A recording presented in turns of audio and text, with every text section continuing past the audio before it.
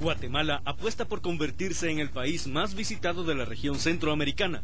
El INGUAT estima que el año pasado llegaron a suelo nacional 1.951.000 turistas que representan 1.419 millones de dólares en divisas.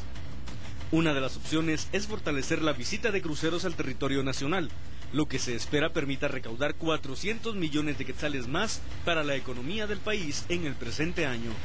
En la temporada 2011-2012, 38 buques arribaron a Guatemala con 65.543 turistas, generando divisas por 120 millones de quetzales.